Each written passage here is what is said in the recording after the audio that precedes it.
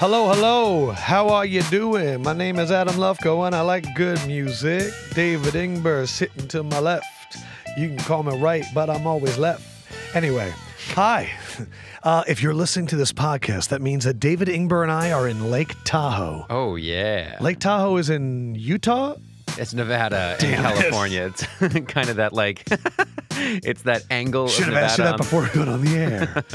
Uh, we're going to be in Lake Tahoe. We're going to be at, uh, I believe it's like the biggest celebrity golf tournament in the world. Yeah, I can't believe that they can get this many big names into one, like wrangled into one location on one Pretty day. Pretty incredible. It's kind of like bigger than the ESPYS in a way. I think it's the the tournament that when you see the video of like um, Aaron Rodgers throwing a pass to a guy on a boat and like Steph Curry, I think it's that tournament. Oh, nice. So they hit me up a while ago, and and so we're going to try and get as many interviews as we can for the next few weeks.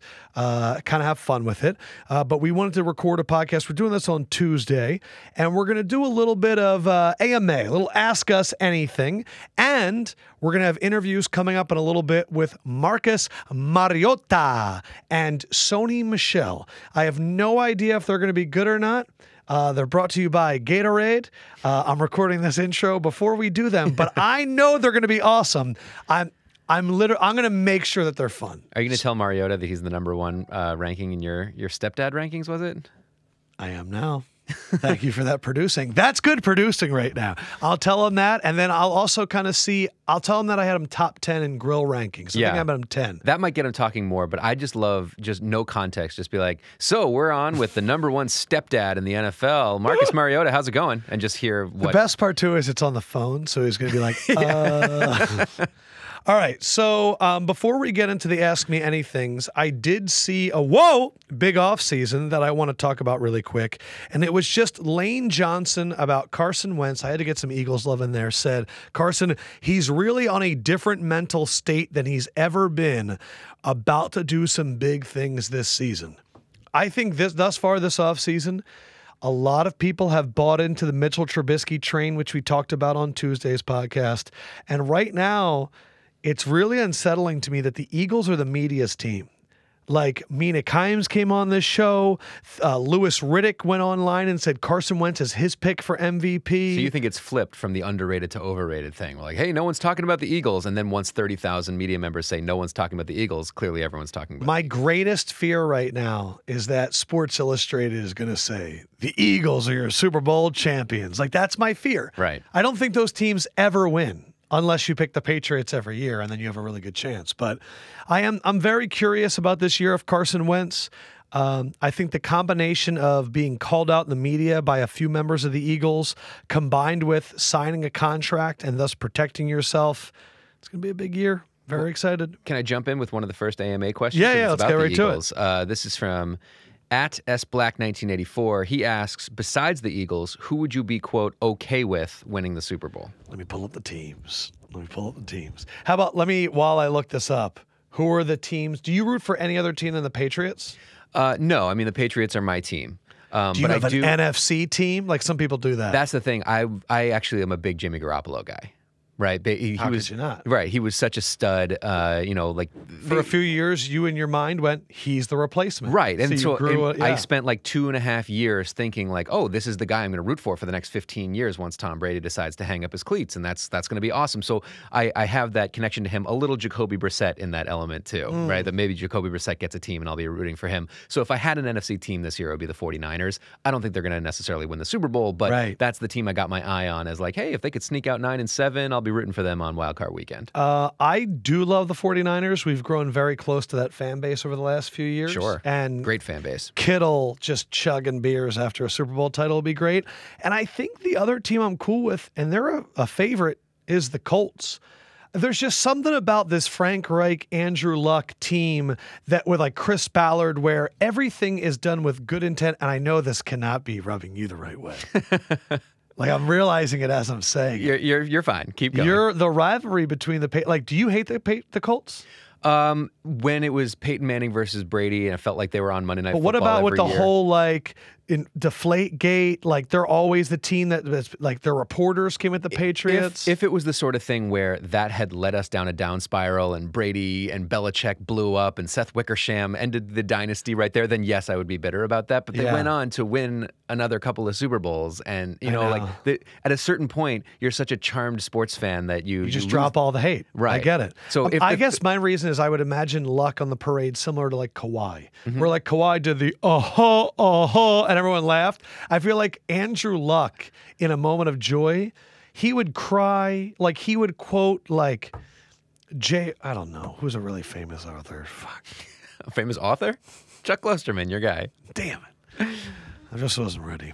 Uh, you Uh, want to yeah, know a fun fact about Frank Reich? I would like to know a fun fact. Only quarterback in NFL history to be undefeated in the playoffs with more than one game. He's 2 pretty 0. good. He's 2 and 0 in the playoffs in his life. Damn. Isn't that cool? Love that guy. All right, I'm going to go to a question, uh, a response from the Instagram story. Let's see what we got. Let's see what we got. Um, all right, this is for both of us. Ethan M. Baxter, what is the largest animal you could beat in a fist fight? Hmm. Largest animal I could beat in a fist fight. You know, there are some large ones that I wouldn't want to get into a fist fight with, but I probably could win, right? Like I think I could beat a dog. Uh, that's what no one wants to say they could beat a dog, but I'm going like to say it right now. I really? punch it right in the face. oh my god. If this is blood sport, life or death, if that's the question, like if there's a cheetah coming at you and you have to survive. I don't think I could survive a cheetah. Oh, there's no chance. I mean, and I would scratch you to also say that it depends on the dog. Have you ever heard that thing? It's like, would you rather fight one horse-sized Yes. duck or a hundred duck-sized horses? yeah, I'm afraid of the massive amounts of them. Right. They, they're just grabbing It just, I just go to that one Game of Thrones where like he's being swallowed up by. I don't want to feel that. yes. I'm gonna right. get claustrophobic and my ass kicked. So what's your answer? Is it a big us like Newfoundland dog? um, I believe that uh, the biggest animal that I could beat is your standard golden retriever. Yeah. It's also it's interesting that they said fist fight because I don't know if the dog is adhering to the rules of a fist fight. Yeah, can they not bite me? I think the dog is going after your jugular in the way that dogs do. That's like in their DNA, right? I'm going for that jugular too. well, that's not a fist fight, my friend. You're in a bite fight yeah, now. it's not a fun thing to say out loud when you realize. That's what you you're now on microphone willfully talking about beating up a dog. If the dog was attacking me, If the dog were attacking you, it's in self defense. that's fine. What was yours? Uh, the animal that I could beat up. you know, I do have like uh, my, my friends, if they're ever listening to this, are gonna like die laughing because I have this like infamous history where I like fought off a group of pigeons. Really? At one point, like they were just circling around my air conditioner right outside my bedroom window and just till three, four, five in the morning. Taunting you. And I know it sounds stupid and funny, but like week three where you can't sleep, it, it's not funny anymore. You're a psychotic New Yorker at that point, and I, I had to do anything possible. So I uh, actually got some Nyquil and I spread it on some wheat thins and fed it on, on the on, Bro. on the windowsill. We have both implicated ourselves a lot. what happened? They did not come back. I don't know if they are deceased, but they did not come back. Wow. I had a, an ish, uh, situation at the beach where I was like holding a sandwich and this seagull came down and tried to rip it from my hand and I pulled it back and like he stared at me and I almost fought the seagull at the beach. Oh my God, it's terrifying. Okay. So, uh, No interest in fighting You just learned a you lot about us right there. All right. What's next from the Twitterverse? Uh, this is a football one, not not so much a silly one. But Yeah. uh, at Kevin Lapka one one two says, realistically, who has the brighter future going forwards, Trubisky or Deshaun Watson? Uh, Watson. I think that um, I like Nagy more than Bill O'Brien, but I believe that Deshaun Watson is a a player that can win a Super Bowl on his own. Like he's the, one of those special players that can make magic happen. He can go on like a Russell Wilson type run and just win three playoff games on his back. And Trubisky is someone that I think is a little bit more uh, offense dependent. I thought it was interesting. Um, uh, defensive end pass rusher for the Bengals, I think it was Carl Lawson, said that he thinks it's actually easier to sack Aaron Rodgers than anybody else. And I read the full quote. And in the quote, he said that uh, it's because Aaron Rodgers is going to wait for that guy to get open because he knows that, and he's going to pat the ball. He goes, Now, we were up by two and a half touchdowns on Aaron Rodgers, and he came back and beat us, but I got two and a half sacks. He said it's harder to sack a guy like Trubisky because the offensive coordinator protects him. That's where we still are with Trubisky. Sure. We've never had that with Deshaun Watson. But are they going to take off the never been- restrictor plate at some point? Like when we find out he's this whole different quarterback we weren't expecting. I believe that when you are the superstar talent, the Mm. restrictor plate never goes on. It comes on later in your career. Later in our career, we go to Andrew Luck and say, stop running so fucking much. Later in the career, we go to Carson Wentz and say, start protecting your body. Deshaun Watson got sacked last year more than any quarterback in the NFL. They're not protecting him at all. He's doing whatever he needs to do. They're giving him room to improvise, though. Mitchell Trubisky has been, much like Jared Goff, put into a certain path and he's executed very well in that path. I believe it's harder to get a Trubisky to do a Watson than it is for Watson to do a Trubisky, if that makes sense. Uh, I would love to hear your your your buddy Warren Sharp's take on all of this because when you see numbers of sacks at the end of the year and it's like, oh, Aaron Rodgers got sacked 24 times and this guy got sacked 18 and that means this, that, and the other. But I'd love to hear Warren Sharp Warren Sharp's sort of breakdown of like, was it a system sack and that like because Aaron Rodgers got sla- sacked slightly more, he actually was able to throw this many more Yes. yards. You know, Pro Football Focus actually does a good job of charting like what are sacks or what are coverage sacks, what Right. are quarterback sacks, and they'll put sacks on the quarterback if it's on them. But anytime you see a team like the Houston Texans reach on an offensive tackle in the first round because one just got taken, and then reach again in the second round on another offensive tackle, that's really all you need to know about where they thought those sacks were coming from. Right. Their offensive line, they traded Duane Brown to the Seahawks two seasons ago because he was saying all those comments about the owner, RIP, uh, and they just they haven't been able to figure it out. right? But and Bill O'Brien still wants to run the same Patriots offense without Dante Scarnecchia. and It's just not going to work. All right, uh, IG one. Um,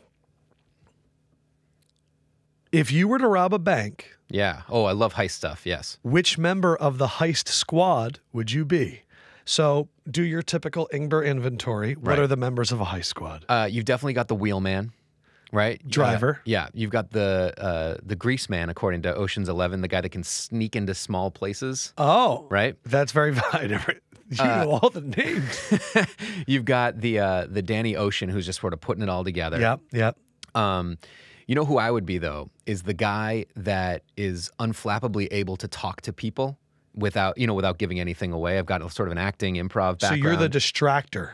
Yeah, well, it's just it's the guy that can that can just walk right in and talk to the bank manager and be like, "Hey, I'd like to talk to you about uh, you know, I got to take a look at your vault. You know, I'm I'm I'm buying uh, my wife some nice jewelry for her birthday, and I, I have to take a look at the. I need to see some. So you down- open the vault with your mouth. yeah, I'm just I'm just Nice. the chit chat guy.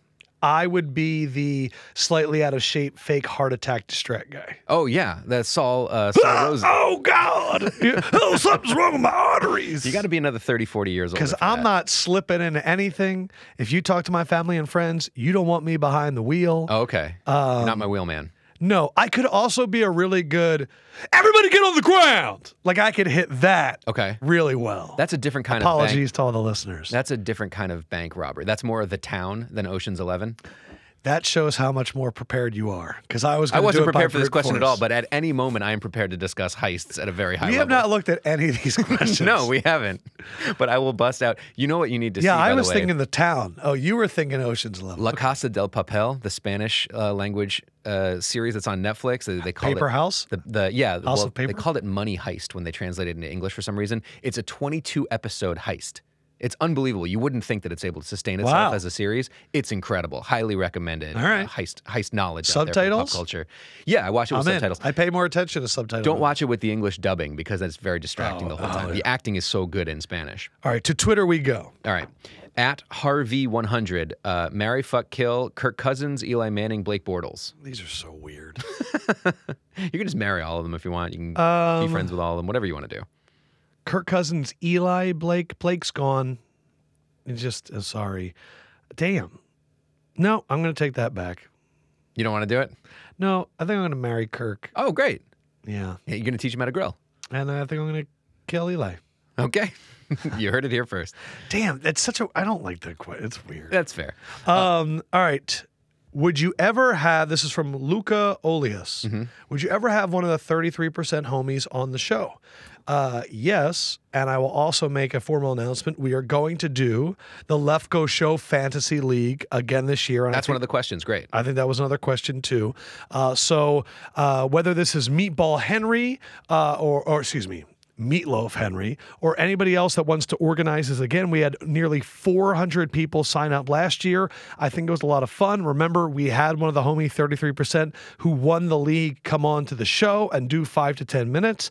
And I think also as we do more shows on the road, as those are kind of popping up, we're going to do some live AMAs and stuff. So you guys will be able to come on the show. But I think, uh, yeah, my, my main thing is the guy that wins the fantasy league is definitely coming on. When we hit on the road, you guys can come on.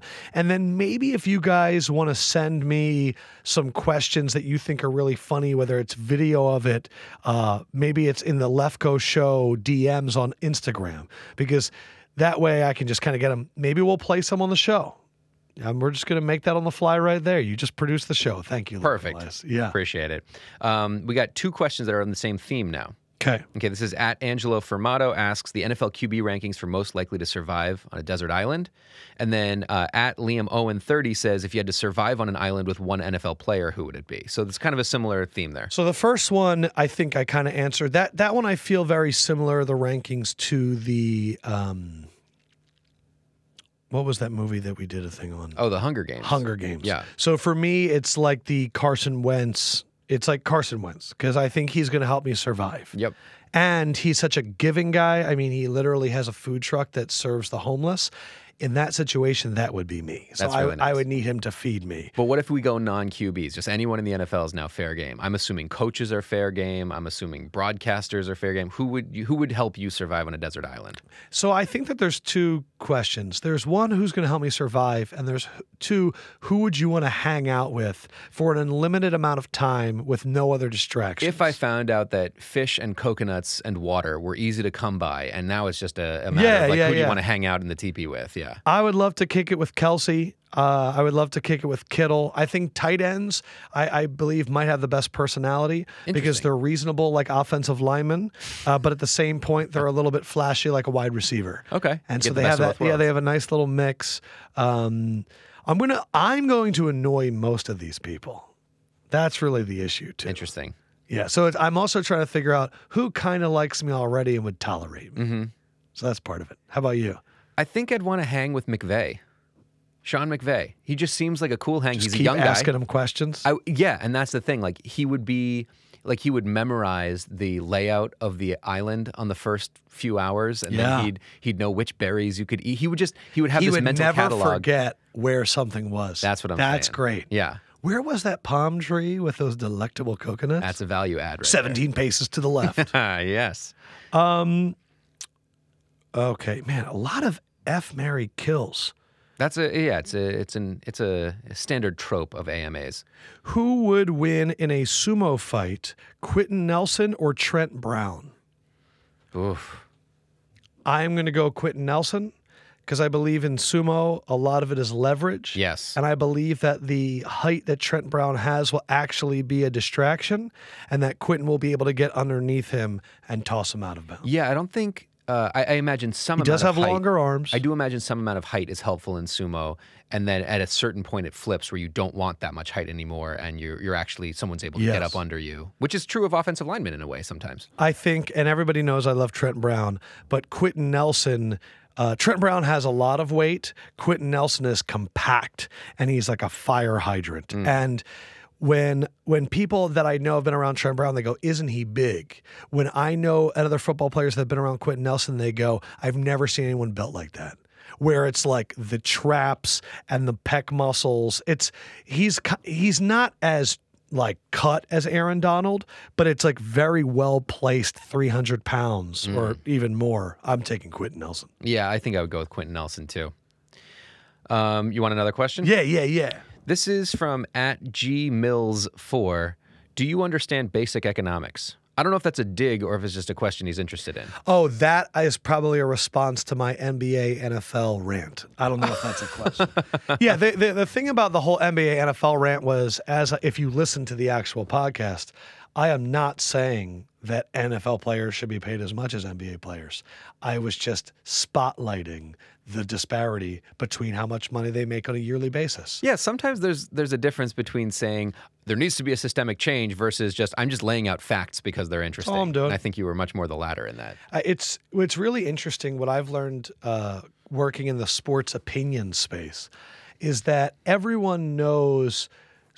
Um, I, I call it the irrefutable evidence fandom thing. That's not what I call it.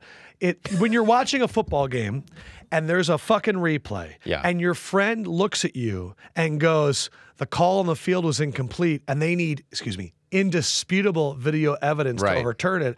You look at your friend and go, "Uh, no shit." I've watched football before, and I've heard Troy Aikman say that a thousand times. Yeah, Chris Collinsworth is all about you need indisputable evidence. It's like, yes, we know. We've seen and this. and before. when someone says that i go it's implied i understand that but it's good that you can as a human hear something and then re-say it at a later date Mm-hmm.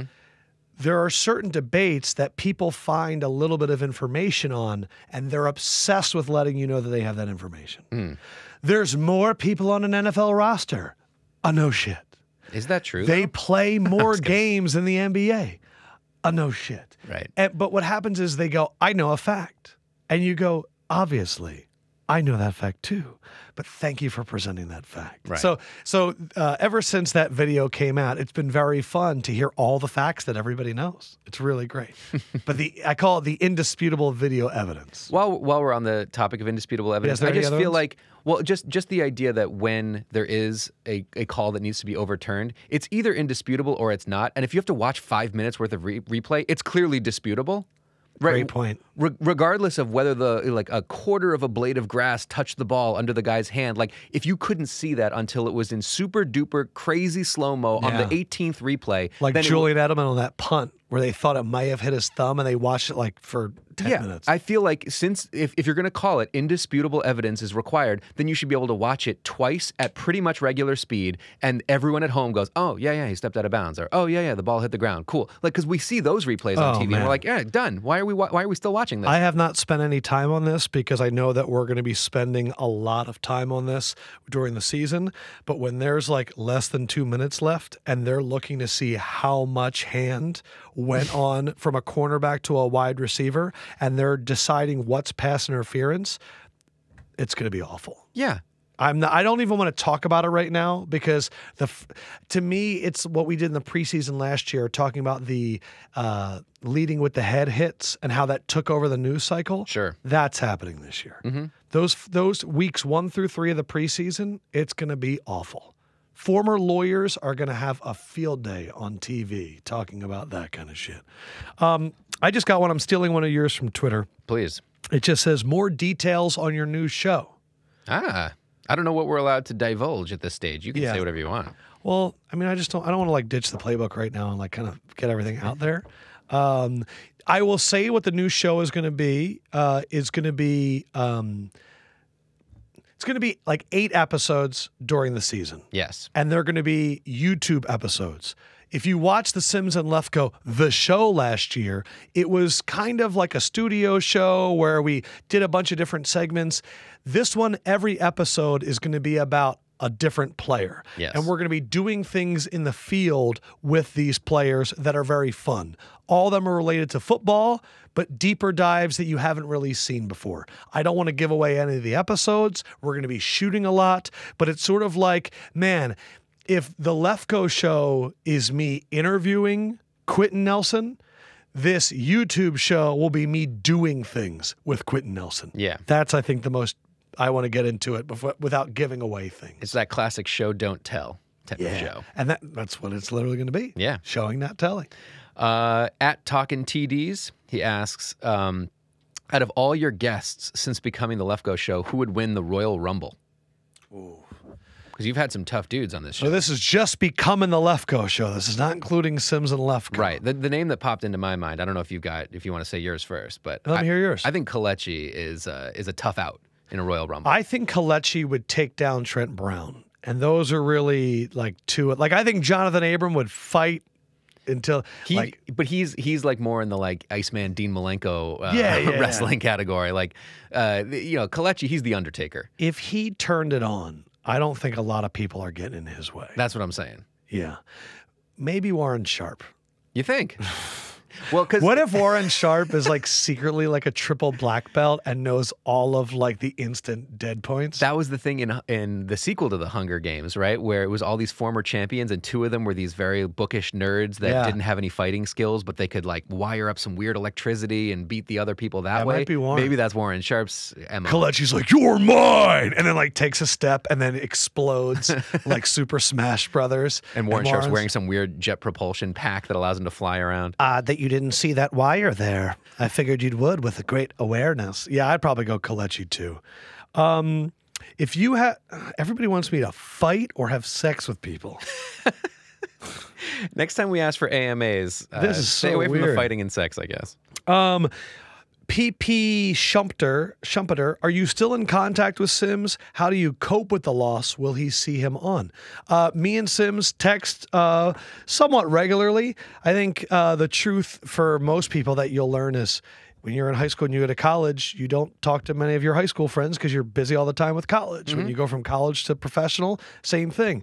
Uh, we we text every now and then if something from his show that I like pops into my timeline, I'll hit him up and be like, "Oh, nice job!" Or if I got an interview, then he sees it. That um, I was wishing his brother a happy birthday. Um, you know, we're we go back and forth. He just got a new house, so I was congratulating him on that. How do I cope with it? Uh, if I was going to let you guys behind the curtain, I was able to cope with it all throughout December and January because that's kind of when I knew it was going to happen was in December. So like. I was dealing with the realization in December and January. So by the time I was ready to kind of do the Lefkoe show, I had gotten a lot of it out of my system hmm. because it sucks. Because the thing that I always tell people, it's not that I was like, oh, it's more work or oh, I want to keep talking to Simms. It's more like I got to see my guys every day. And, you know, like it's fun to hang out with you every day. It's fun. It was fun to hang out with Simms. You know what I mean? Like you just, they're, they're your friends. So, um, for me, the thing that I really tried to do was sit down a lot and go, what do I want the show to be? Not how do I keep this thing running, but what if I was going to make this more myself, where would I want it to go? And so being able to kind of sit down and, and try and come up with ideas and, and a direction that allows you to cope with anything mm-hmm. because then you get into the creative process and you're like let's keep doing that shit and to be honest the homies and the 33% rallying the way they did making me feel like a goddamn king all the time and and reaching out to you guys and saying who do you want on as guest and being able to get the fantasy footballers and Kyle Brandt, Nate Burleson and Mina Kimes and yeah, like we're running down that list. being quickly. able It's to great. like deliver that shit is very rewarding. Yeah. Because even for me, I'm like, you like, I'll hit up people and they're like, I would be honored. I'm like, you're honored. I thought I was reaching out and wasn't going to get a response. People like being asked to do stuff. I'm Yeah. I am continually impressed when you reach out to like NFL players or other media members and you're like, "Hey, would you do this podcast?" And they're like, "Hell yeah!" Yeah. Like, oh yeah, people like to be asked to do stuff. It's, it's nice. weird too. Like when people come in, they're like, man, I've really been enjoying your shit. I'm like, you watch my shit? God, pay attention to things that matter. and I'd just like to add, I continue to text Chris Simms as much as I did before I got this job. Yeah. Which is never, but that we are at the same level that we, we've always been at. Uh, you want this one from at Mr. Rogers Story? Ooh. If you could choose any city to get a new NFL franchise, where would it be, and what would the team name be? Let me pull up the cities. Oh, Hmm. yeah. Like what city? What's what's a what's a nice juicy city that deserves an NFL team that would be great for road trips? That would be a great fan base built in. Like I just I think Vancouver. So here is a bleach. Interesting. That's interesting. I mean, like who doesn't want another Pacific Northwest team? So I looked up Bleacher Report, of course, has a list of the 10 cities that are the biggest that do not have an NFL team. Uh, and number one was Los Angeles. So this is clearly a little bit dated. But the options. San Antonio, Texas, Las Vegas, Nevada was three. So they're getting one. Columbus, Ohio, Orlando, Omaha, Nebraska, Dude, Sacramento, give me an Omaha team. That's a great idea. Portland, Oregon, Norfolk, Virginia, Salt Lake City, Utah. I think which one? Omaha is interesting. Just because the Nebraskans, they're obsessed. they with would go nuts. Yeah. I love your idea of Vancouver. I think Toronto has opened up a lot of eyes Mm-hmm. with the NBA title. I also think about teams like Mexico City. Yeah, that's that. The international stuff is really And cool. then everyone always talks is London going to get a team? I mean, I love the idea of Vancouver just because a lot of people in like Seattle, Portland, whatever, can take a nice, cool road trip over to Vancouver and see a, a you know, if your if your team's in town Yeah. for the weekend. Mexico City, I feel like is a is a more of a commitment if you're you know have to fly there from somewhere else. But yeah, if if they have enough NFL fans down there to sustain the team, that's cool. I say go international. I'm going to pick Oakland. Oakland, Yeah. yeah. Because their team's going to Vegas. So you want to replace it? yeah, I think they should. It's like Seattle getting an NBA team back at some point. oh, man. The, the NFL will never do that. Just like the NBA will never do No, but I'm saying like there's that Of course. that pang of nostalgia. that, Like, Yes. you know, certain people that just want. You know, Seattle got robbed of its amazing Sonics, and that that's a franchise city that deserves an NBA team, and maybe one day, knock on wood, we'll get one. I think St. Louis can have an NFL team again, too. Sure. I know th- those were, I mean, shoot. It's fun. It's interesting that you mentioned St. Louis because they this question also asked what would you name the team, Mm. and there was an NBA team or maybe an ABA team, but there was an NBA team for a while, a basketball team that was named the Spirit of St. Louis. It was like the team name came before the city, which has never happened before. It wasn't like the New York Knicks. It was the Spirit of St. Louis, which I just think is so cool as, Yeah. a, as a team name. Uh, it's so hard to come up with a truly innovative, cool team name. If anyone's going to come up with cool team names, it's you. It's not me. So anyway, the So Spirit if you of were St. going, Louis. if you were going to Vancouver, what would the team name be? Oh boy, that's such a great question. Uh, so they got the Canucks, they had the Grizzlies for a while, and then it became the Memphis Grizzlies. Uh, I'd need to. I want to learn more. I'd want to. I'd want to spend an hour The really. Vancouver Cougars. Sure. No, that's awful. I'd. I. I really, What would the London team name be? Because this is something that people talk about at the time. If London got a football team, Yeah. what would they be called? the guard, the Palace Guard? The London Guard is a phenomenal fucking name. Wouldn't that be cool? I love team names that don't have an S at the end. oh yeah. It's the trivia question we've all answered. It's the Heat. It's the Magic. If it's the London Guard, fuck. And then think about like all the cool posters and T-shirts you could have if they have a sick defense. What if it was the London Eye? The eye's good too. And then it's like a like a sort Always of, watching you. It's like one of the, it, but it's the look. It's the helmet is the eye from Lord of the Rings. Mm-hmm. So it's like that burning, fiery orange eye. The Sauron. The London Guard is really good. It's not bad. I just I, that by the way is not old material. I just That's thought one of that. of Ingber's strengths is thinking of names on the spot. Because you think the word London, you start rattling off, okay, like Tower of London, Buckingham Palace, da da da. da. So I just went to Buckingham Palace Guard and I thought, hey, you know, like they kind of have the color scheme of the Buckingham Palace Guard. The red and black would look sick. Yeah. Oh my God. It would be We really got cool. something. Um, if you could be the brother of one NFL coach, who would it be? This is Tanner Mallon. the brother of a coach. And you have to think who's going to give me the best benefit. If you're Belichick's brother, he's not bringing you into the facility unless he's working you to the bone. Right. You kind of need to find the cool guy. Now, if you're a brother of John and Jay, now you're the third Gruden brother and you're the only one not coaching. Awkward Thanksgiving. What about, yeah, Harbaugh, Ryan brothers? You join a brother group already, you're the Cooper Manning.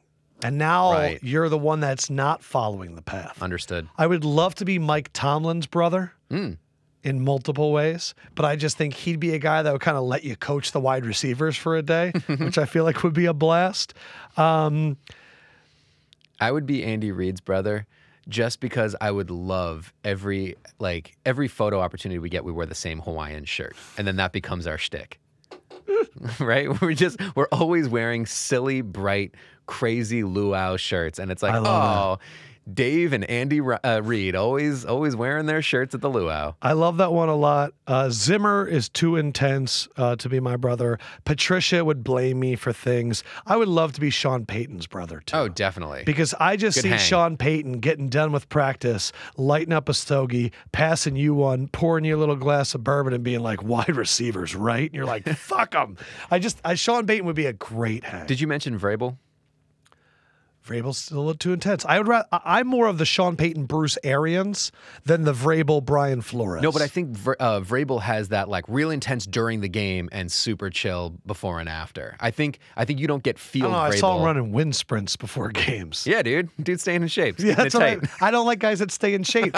Bruce Arians, Bruce Arians literally is like if your if your wife has a recital that she needs to go to, then you leave work and you go to it. Hmm. Like Bruce Arians cares a lot about family.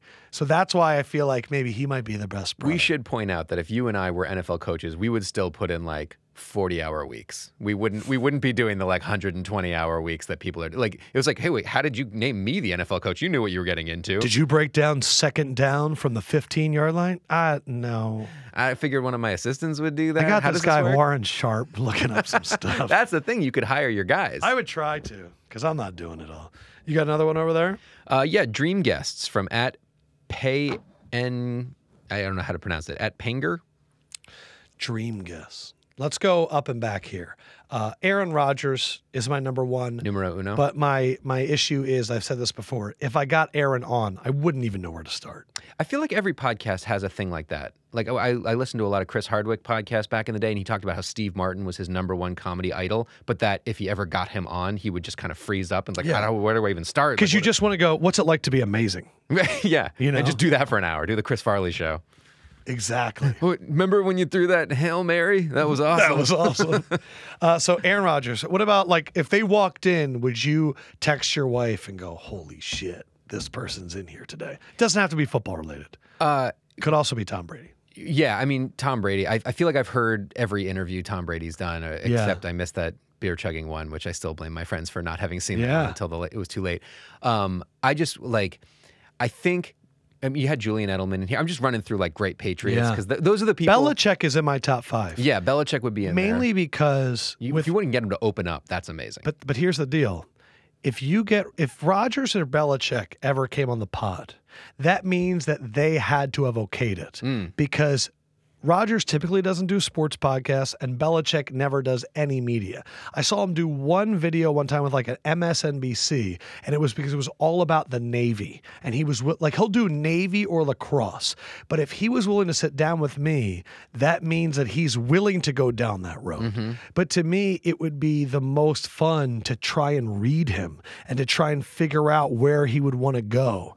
And the, there are just not a lot of humans that are that challenging. And the good thing too is like if Belichick doesn't answer my questions and walks out, that's what he does to everybody. right. I'm just one of everybody then. Yeah, so I, I'm trying to think through it in terms of like who would have the coolest stories, Mm. who have I not heard enough from, right? Because like I said with Brady, Brady's done a lot of interviews. He's did the entire Facebook series. He did. There really isn't anything we don't know about him at this point. so uh, uh, even though he's to me the goat, he's my favorite Patriot of all time. This, that, and the other. yeah. Uh, I would go with someone like Bo Jackson. Bo Jackson is a podcast guest. You sit him down, he must just have story upon story. Everyone knows him, everyone looks up to him. Yeah. He's one of the great what if athletes of our lifetime. Deion Sanders is up there for me too. Sure. You talk about like storytellers and Oh, stuff yeah. like that. I would love to get old classic teammates together. Mm, that's like I would love to get a Deion and Michael together. I would love to get a Steve Young, Joe Montana together. And that would be kind of awkward, but like Yeah. that whole thing would be like such a cool dynamic. I would love to get Jerry Jones. The, the the thing though is that I'm when I'm thinking about it, the thing that sucks about when you interview a guy like Jerry Jones is there's these questions that as a media guy you think you have to ask. Mm-hmm. And all I want to talk to Jerry Jones about is partying. Like that's what I would just want to be like, man, what's it like to be, make your money on oil? You know, like Yeah. that has to be fucking crazy. You're just like drill over there. Oh shit! Like that's another billion. What was that first day like when you tapped oil? You know, but everyone would be like talking about the code of conduct, and, and I just don't want to talk about that shit. See, what I thought you were going to say is that when you interview someone like Roger Goodell or Jerry Jones or someone that's at that level, like even if you were to interview Barack Obama, it would be so sanctioned the questions that you'd be able to ask that you'd probably have to send Thousand percent. right. And so, And I like- want to surprise these guys. Yeah. So if you're saying dream podcast guest, it's a matter of who could you get, but then who could you also do the interview with that you want to do? I would do an entire interview with Barack Obama about the Chicago Bears. Like I think that I would love to reduce these like super powerful people to just fans Oh, that's great. and only talk about their fandom. I'm just saying it out there for, for Oh. people that have like never run a podcast before. That if you're like, oh, how is this person your your your dream guest? Just think about your true dream guest and how hard it is to book that person, and then all the levels of security that go involved in that, and you don't actually have that open, free flowing conversation. Guys, we've had guests on here recently, and I was told I can't ask them certain things. Right. And they're not fucking Barack Obama or Roger Goodell. There you go. I mean, Obama at this point, he's just so like, I'm the former president. I'm I'm in my he writes a book and needs to go on a tour, and we get him for like. sure. That would I'm, be amazing. I'm sure he would love to talk uh, talk, talk football and not talk politics for a minute. You know, like some of the some of the guys here at Bleacher Report that focus on soccer. Yeah. they love talking to American athletes who also love soccer, the Steve Nashes, Sure. the JJ Watts of the world, because they're so amped up to talk about Oh. their like their secret passion they never get asked about. Talking to Obama about Jim McMahon, like, get out of here. That would be incredible. Right. I would love to interview Mark Davis. Mm. I am a slightly fascinated by the sons of franchise owners. Right. Or people that didn't make the money themselves and dealing with that. Mm-hmm. Now, I wouldn't explicitly say it to him like that, but like Mark Davis, James Dolan, like all these guys, Jim Irsay is someone I would love to interview and He just talk like to him a- about these guitars that he's buying. He seems like he wouldn't like he he wouldn't ask for the questions in advance. He'd be like, "All right, we're doing this. Where do I sit? All right, let's do this. Let me I- fire away." The Pat McAfee stories where he talks about Ursay, he's like, "Hey man, I just I got this this Beatles guitar, man." like it just, I would love that. Uh, all right, let us go to the IG. Uh, this is actually just a compliment the True Chabo. Just saying, the thirty three percent is also in Denmark. Keep up the good work. Thank you. Uh, he also asked if you could host any TV show you want for one show. What would it be? Easy. Is it? Saturday Night Live. Wow. You get to be an SNL host. You get to do the monologue. You get to be in a couple about that. sketches. I was going to answer like Wheel of Fortune. I would love to host Jeopardy for an episode. Don't get me wrong. Jeopardy's a lot. I just feel like Wheel of Fortune. I'd be like, oh, bankrupt. See, that's the difference between us. I'm a Wheel of, and I don't even watch Wheel of Fortune. I mean, you you should do at some point in your life. You should do Family Feud Oh, because you My walking over to the families with the long microphone, be like, "Now tell Oh. me. This is All right. Aunt Karen here. Aunt Karen, tell me, what do you do for a living?" Was that your Steve Harvey a little bit? No, that was I was kind of doing a little Dawson, you know, the Len, uh, Richard Dawson. Uh, that would be amazing. Um, and uh, I'd like to be the main host of Good Morning Football. Ah, Just make fun of them the entire time. No, I'm just kidding. I love all those people. No, I yeah, I think SNL is the correct answer. yeah. Good answer. Oh, Good wow. Thank you. answer. Thank you so much. It's like Family Feud. Put it on the board. Yes. We asked a hundred people what show they'd like to host. um, I got one more here Okay. at Aiden nine four zero four seven eight seven eight. If you ever wrote down that handle, good for you. Mm. Which QB gets the least recognition for consistently being great in the league? That's a hard one, right? So who who teeters on consistently really good but doesn't get the attention? Russell Wilson was that guy for a long time. But now he's now I think uh, it's he needed to have all those other pieces pulled away from him for people to go, wow, he can still do this. But for a long time, him and Aaron Rodgers were the ones overcoming their own offenses and dealing with no planning and having to do it. yeah. Um, is there anyone that kind of come? I think Big Ben is a guy that's taken for granted a lot. Interesting. Uh, and we're going to see a big test with him this year without Antonio Brown. Um, There were, I feel like there were some stories last year of like, hey, Drew Brees has been doing this for 19 years. Where's his love? You know, I I think he gets too much. love. and it's like he gets a ton of love. Yeah. So it it is it's one of those weird, you know, snake eating its own tail type of Stafford questions. is that guy for me too. Oh, because he's awesome. Stafford's one of those guys that when you talk to actual NFL players, they go, "Man, I love Matt Stafford." Yeah. When you talk to fans that want to talk about records or comebacks and all that stuff, they're not a fan. But the true thing about Matt Stafford is the offensive line's been a mess. Uh, he got punished publicly by having Megatron because everyone's like, "How are you not going to win with Megatron?" And it's like, I don't know, maybe like the coach. None of the coaches have been good ever. Like, who's the been the best offensive coordinator on that team? Jim Bob Cooter. Like, that's not even a joke. His name's funny, but that's No, really I- his best OC. I'm well aware. But it's, yeah, I think Stafford is definitely up there too. I think Matt Ryan was there for a little bit too. Yeah, it's like once you win an MVP and you make a Super Bowl, it's a little tough. Like every, because you just think of that Super Bowl week when literally everyone's talking about you. So it's it's hard to really fly under the radar. Phil Rivers never made a Super Bowl. Maybe that's something you could talk about. It's incredible, Phil Rivers. I mean, unbelievable career numbers, truly unbelievable career numbers, and he's won like a total of five playoff games. You know, so is that like an underachieving career, or is he still an awesome quarterback that just happened to get bad luck at the wrong times? Like, I don't know. I don't know what the answer is. I know, because it's like, what do you do with like the Schottenheimer years, and then some of the other coaches they haven't had success elsewhere. Uh, we're gonna get to Mariota and Sony Michel in a second, uh, but I want to do this one. Simp twenty one. Who is your Mount Rushmore? One athlete, one actor or actress, one musician, and one miscellaneous. Oh my God, what a fantastic question. So my athlete is Brian Dawkins. Do you have your athlete figured out? Michael Jordan. I'm not going to overthink this one. That's your favorite athlete. He's the number one. If I'm making a Mount Rushmore, It's your my Mount, Rushmore. Your Mount Rushmore. Everything is subjective. There is Right. no Yeah, so it would have to be Nomar Garciaparra then. say it in the accent. Nomar Garciaparra. Thank you. He was my number one athlete. You know, everyone has their athlete when they were like 12, 13 years old, when they come into the league and they're your guy. You know, Nomar was my guy. My guy. Dude hit 370, always swinging on the first pitch, hitting 78 doubles off the wall. You are someone that has done acting. Who is the actor or actress that you're going to put on your Mount Rushmore and you can't pick your wife? Tom Hanks.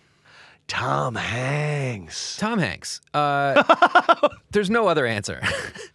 uh, my bu- said Tom Hanks like you were about to go into like a dissertation about Tom Hanks, which you are. I so could. please go into it. uh, a good buddy of mine was an actor, and he worked at Bubba Gump Shrimp, right? And there's posters of Tom Hanks all over the wall. And he said the ultimate thing to do uh, when there's like 10 adults and 10 kids at a big old, you know, party table, or five adults, five kids, whatever, the way to keep the kids silent or keep them busy for the entire time is just say, who can come up with 30 Tom Hanks movies. And you give them a piece of paper and a pencil, and you have all the kids just sit there for an hour, come up. The fact that kids can name 30 Tom Hanks movies, Children. children can do this. Uh, the fact that they can do that says all you need to know. The guy's won back-to-back Oscars. He can do comedy. He can do serious. He's he's been in everything. He produces. He writes. He wrote the screenplay for that thing you do, which is one of my favorite music movies ever made. He wrote that screenplay. I'm going with Robert Duvall. I'm just kidding. That's fine. I mean, you, everyone can have their own thing. I just to me, there's one answer. It's Tom Hanks. I am going to go. I'm looking at either Denzel and Michael Caine. Michael Caine. Michael Caine. Just that I see him, I automatically go. And when he talks loudly, he talks very loud indeed. uh, and then uh, your musician. Prince. So you have a Jordan, Tom Hanks, Prince. You have a solid Mount Rushmore. Well, I thought uh, Michael Jordan. Oh, my would be- bad. No, my. Yeah. Okay. My musician. Damn. Why am I asking questions and not thinking of the answers to them? I mean, we're, we're definitely being put on the spot. And like an hour from now, I'm going to wake up and be like, oh, why didn't I, you know, Michael Jackson. Michael Jackson? Yeah. It's a it's a it's a tough sell right now when people are really just hashtag canceling him after the documentaries. So, but Yep. we all agree his music is un like it's the greatest back catalog of maybe any musician. Maybe Stevie Wonder. Mm, that's a good one. Uh, and then one miscellaneous. I would put myself. You're just gonna throw yourself up there because yeah. you've always wanted to be on a Rushmore. No, if you're going to let me pick anybody, yeah, I'm going up there next to those guys. All right, now let us uh, listen in. Again, uh, these interviews are compliments of Gatorade. Gatorade, a drink when you're tired and working out. I don't think that's their official slogan, but I don't have it in front of me. So, uh, Marcus Mariota, Sony Michel, back to back interviews. Hope you guys enjoy them. Here are the conversations with the QB of the Titans and the running back of the Patriots. Sony Michel, how are you, buddy? I'm doing good. How are you? Oh, I'm excited to talk to a Super Bowl champion. How does it feel to hear that, pal? Feels great. And, you know, kind of shows, you know, all the hard work that I put in this season with my teammates, you know, kind of paid off. So it's well deserving. Dude, I went uh I did a little deep dive on your IG and I will see, man, you got some incredible quotes about hard work. Are all these yours or are you taking them from someplace? No, I take them from someplace. I was gonna say you're the next most of them prophet, man. Guy Inky Johnson. Okay. Um, that's kind of where I get my inspiration from. I kind of, you know, daily quotes, read, and I feel like, hey, why not pass it along? And um, you know, I just go from there. But I also see after the Super Bowl, you you put out a little mixtape, a little rap song, and I also saw in another photo, man, you had a whole booth set up there. Are we going to put together an album? Is the Sony Michel LP going to be dropping anytime soon? Um, you know, not to not to spoil any secrets, but you know, I might have to drop a little something. Hey. Now, Sony, I hear about a lot of NFL guys that rap. I talk to a lot of them. Melvin Ingram's talking to me about his album. We know Le'Veon Bell. I've seen Cole Beasley. Where are you slotting in amongst NFL rappers right now? oh man, I'm not sure. You know, I won't. I wouldn't want to con- consider myself, you know, a rapper. Okay. You know, I'll just say I'm a I'm an artist. Beautiful. That's really profound. I like that. Artist. Uh, so the reason we have Sony Michel is because of the Gatorade Player of the Year program. He's out there right now for the festivities, the most prestigious award in high school sports. If you want to get a take a look at it, fans go to playeroftheyear.gatorade.com. Um, I, I have a lot of young people that listen to this podcast, man. Uh, as as you've done this grind and, and you've kept going, what is something that young people can kind of put in their mindset to to let them never stop growing and never stop improving? So I I think the biggest thing is to understand that dreams really do come true.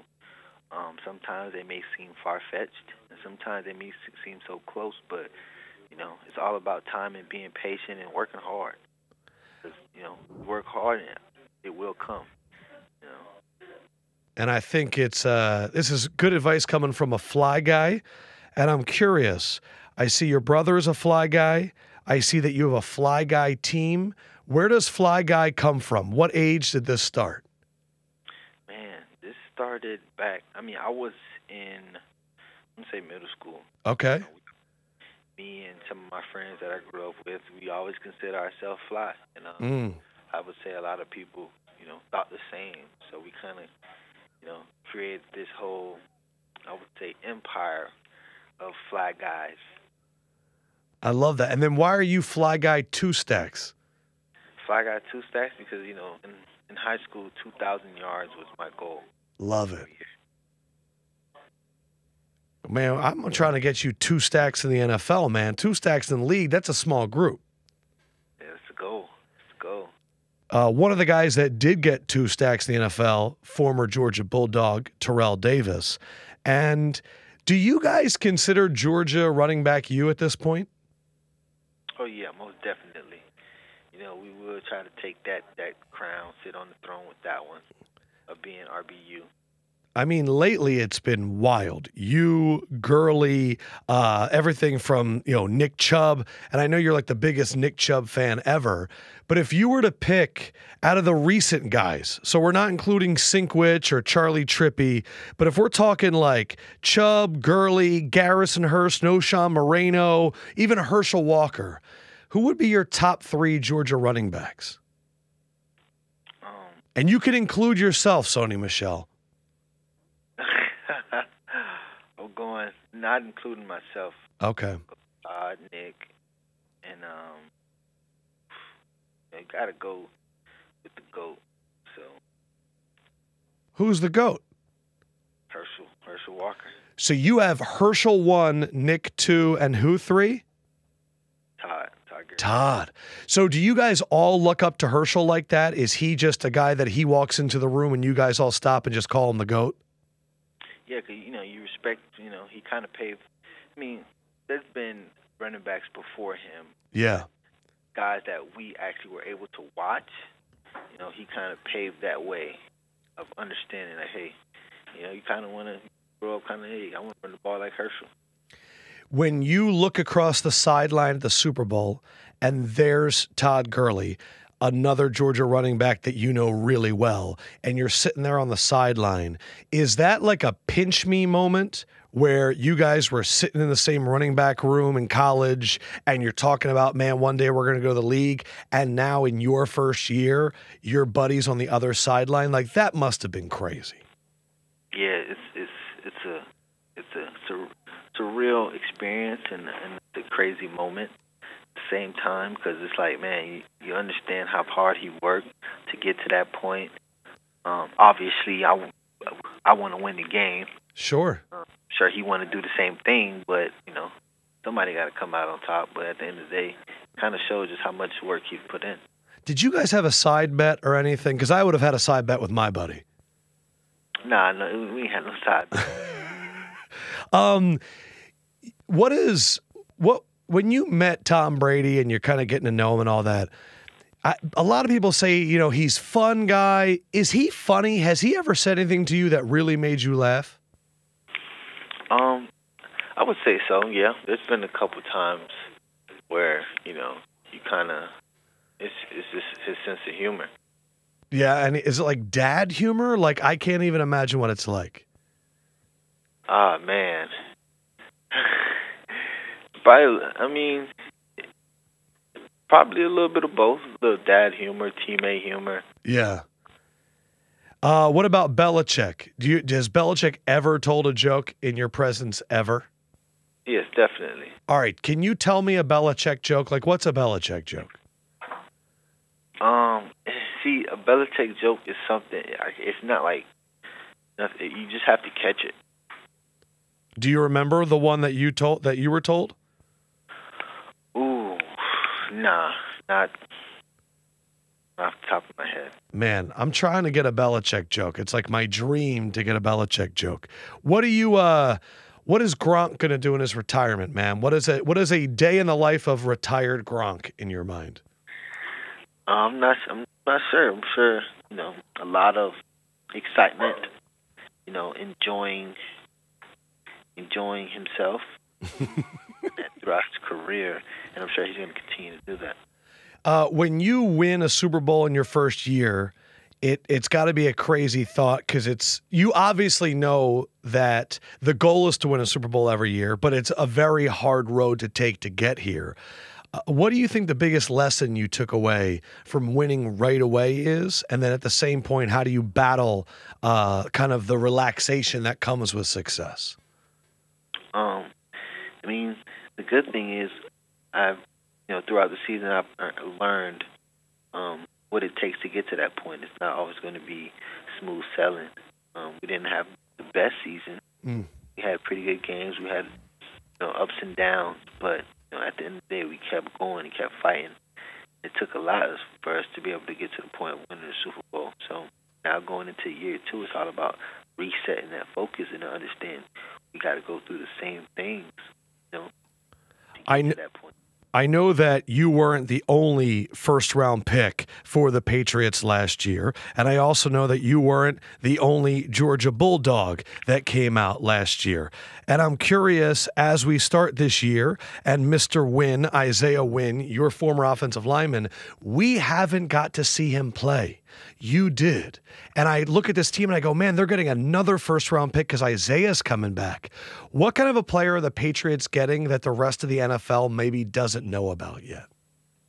Um, a guy that's you know that's gonna that's gonna bring, I would say, you know, a good piece of this team. It's gonna help this team win a lot of football games, and um, he's gonna work hard. Mm. And you know, that's all you can ask from a player, really.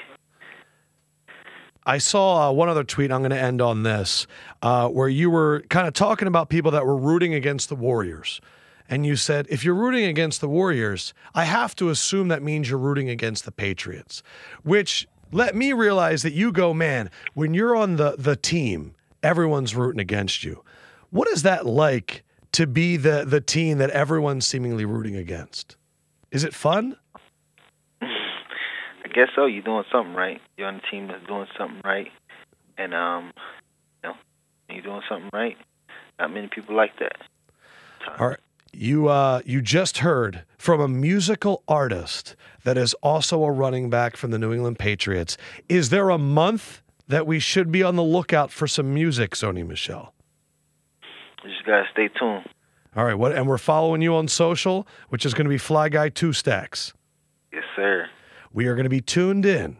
When you drop it, I'm going to play it on this podcast, and we're going to do like a nice album listening party. So I'm very excited. All right. All right, my man. Stay tuned. Pre- appreciate you, brother. All right. Hello. TG for honey. What up, Todd? What's good?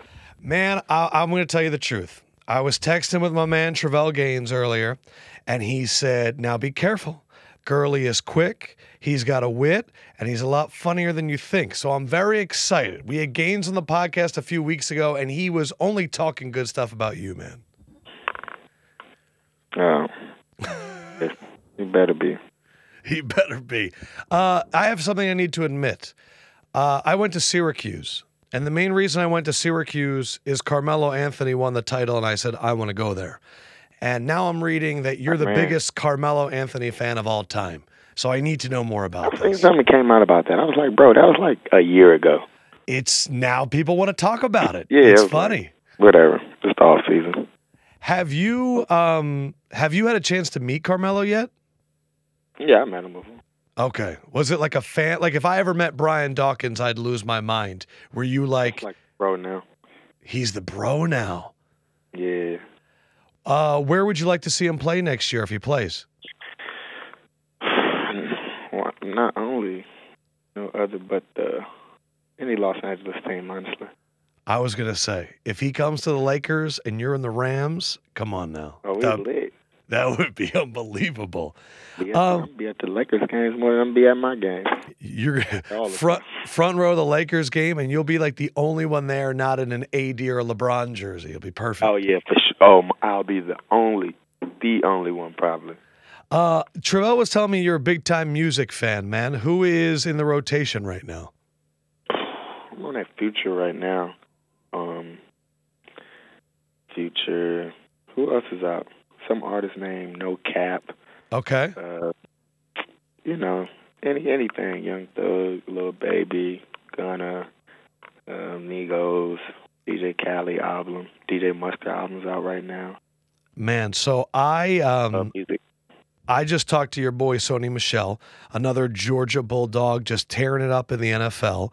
And I asked him, not including like Charley Trippi and Sinkwich and the really old Georgia running backs, but from like Herschel on, who are his top three? And I'm curious, who do you think his top three was, and, and what's your top three? Oh man, don't put me on the blast like that. Now I got to think of people who went to Georgia. Um, Here, I'll give you the names Sony Michel, Terrell Davis, Knowshon Moreno, Garrison Hearst, Nick Chubb, you, Herschel Walker. And you can be Well, on the list on- if you want. people, we're going on based on what people done at at at Georgia though, right? Uh, you can use any criteria Don't you count, want. like, 'cause you know how it is. Like, I mean, yeah, like like I don't know. Um, Listen, Garrison Hearst and Knowshon Moreno have pretty good careers. exactly. Yeah, yeah. Um, no, Sean, a great career actually. Really did. Won Super Bowl too. All right, so what's it going to be? He went, I'll just tell Like, you, I like no he went, um, I think he went U3, Chubb 2, Gar- and um, Herschel Walker 1. Yeah, I'll just put Herschel and Chubb and Sony honestly. Oh, you guys are very nice to each other. Yeah, Well, I, I saw Sony is like a huge Nick Chubb. we can't we can't support the. Well, you guys are RBU now. Yeah, yeah, for sure. Um, what is what does Nick Chubb do so well that just makes the rest of you guys love his running style so much? He just runs. That's all he does. He just, just runs. Run people over, run past people. Um, I can't really explain. I never could really explain his style. It's Mm. like something I ain't never seen before. He be running. I know this Swift kid you guys got at Georgia now, man. That kid can cut on a dime. Sony's got the agility. You had the flat burner speed, and Chubb just runs. That's what he does. That's all he does. Uh, you're out there right now for the Gatorade Player of the Year program. Again, fans can go to playeroftheyear.gatorade.com. Uh, it is the most prestigious award in high school sports. Uh, advice for the next generation. I'm sure young football players come up to you. I know that you and Sony Michel and and a few other people you you guys do camps and stuff like that. What's your what's your best advice for young athletes trying to make it to pro one day? Um, just keep you know keep the main thing the main thing. Keep working hard. Um, surround yourself with great people and um, just do the right thing. I mean, Mm. these kids are special already, and you know even for the kids that's not at this awards, just just keep working even if you're not here, because you know I wasn't here when I was Yeah. in high school, so mm, I'm and I'm now I'm you know on the team with Gatorade, um, seeing these young athletes. So anything is possible. Just keep working. Uh, I saw you that you tweeted this before you got your contract about the difference between NBA and NFL money. I went on a little rant because I understand there's more players and there's more games. I get all of that. But it's crazy to me some of the comparisons that DeAndre Hopkins is three is his contract is Andrew Wiggins is three DeAndre Hopkins and that Bro. Odell is getting paid the same as Ian Mahinmi. It just blows me away, man. I know it's crazy, right? I I led lead in touchdowns last two years, and I just seen somebody get eighty million, and I couldn't even pronounce their name. Dude, Antonio Brown, Tobias Harris got five times the amount of guaranteed money as Antonio Brown. I like Tobias Harris. Tobias Harris was the first guy I seen. I was like, hold on, who is this? I'm like, oh, Tobias Harris. I started looking at his game. I'm like, actually, he's all right. Oh, Tobias Harris the is the last time, and then he just re-dubbed. I'm like, hey, I ain't mad at him, man. They doing that thing. that's All I know is if I was in high school right now and I was six five, I'd be in the gym every day. putting work in the gym. Um, I have I have a, a Lefkoe PR. This is when I give out strategy to people. I believe that uh, you can. Everyone's talking about your fucking knee, Todd Gurley, and everybody wants to know what's up. I think you should create a social media account called Todd Gurley's knee, and what you already can do. There's already a, a, a Twitter account like that. Damn. Yeah, yeah, sure. I was gonna say you could like you could tweet out updates like you're the knee and be like feeling great today. Everybody, please stop Yeah. asking Todd about me. Even if I, I mean, I mean, you you can't win with nobody. It doesn't really even matter, honestly. Yeah, it's media is interesting, isn't it? Especially because you're in LA. It's not even needed though, because it's like I I found myself doing it either. You know, I mean, doing the same thing. So it's just like people, period. You know. Uh, I'm going to be coming to your camp a little, like in a month or two, and I'm going to be doing something with Sean. I'm the one that did the thing with McVay last year, where he remembers like every play. Um, yeah, yeah, yeah. Have you have you ever seen him forget anything before? Nah, I haven't. It's crazy. I don't know how you do it. It's it's insane. I, I want to like I heard he knows every person's name in the building from the secretary Yeah. to the janitor. Yeah, you got like an elephant brain, bro. An elephant brain. I do love elephants. That's pretty good. Um, what about like is he a funny guy too? Like I just asked Sony if Bill Belichick tells jokes. Sorry, I'm rushing. I gotta go. They said I gotta go. Hey man, He's a great guy though. Great coach, good human being, um, players coach, love playing for him. Um, but his memory is it's insane. I really can't even like explain it. Todd, keep kicking ass, man. I appreciate your time, bro. Thank you. Appreciate it, man. Take care. All right, man. All right. So that was Sony Michel and Todd Gurley, brought to you by Gatorade Player of the Year. Again, playeroftheyear.gatorade.com. I'm recording this, I'm going to keep recording this. So, Jake, leave this in before we go back to me and David. Uh, again, we recorded me and David earlier in the day, about nine hours ago. It's uh, damn near 10 o'clock. And we thought we were going to get a Mariota and a, a Michel, but we got a Michel and a Gurley. So that's pretty funny. But listen to the two different interviews. Do you hear a guy going into his second year versus a guy going into like year four or five? Uh, awesome. Uh, great time talking to them.